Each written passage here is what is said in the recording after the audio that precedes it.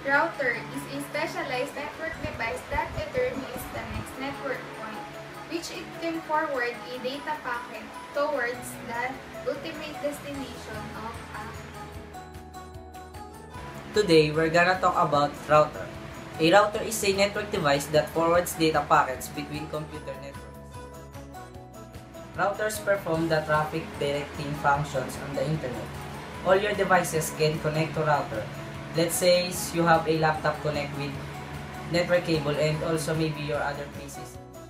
All these devices are communicating direct- directly with one another. They're communicating through this central device called router. So there are actually two main types of popular router nowadays.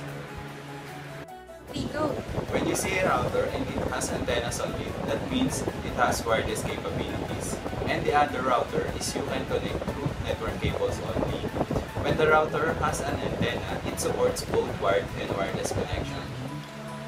So this is the example of a router. This is the power button and this is the power supply port and this is the antenna. This is the port. This is where you can connect your personal computer. And as you can see, this is the Ethernet port. It is used to connect your personal network to the network of your ISP or Internet Service Provider.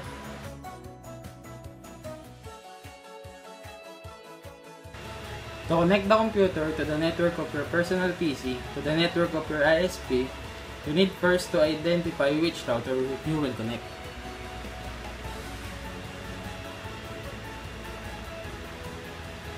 Then enter the authentication process needed.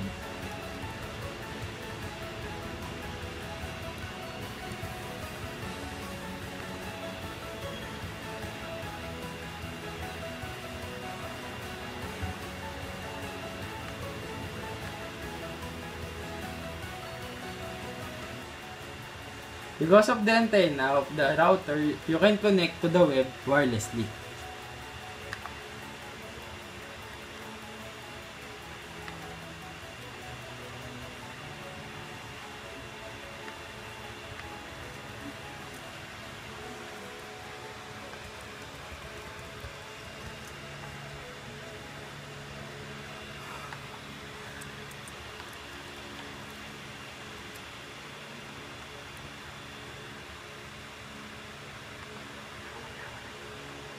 ないな。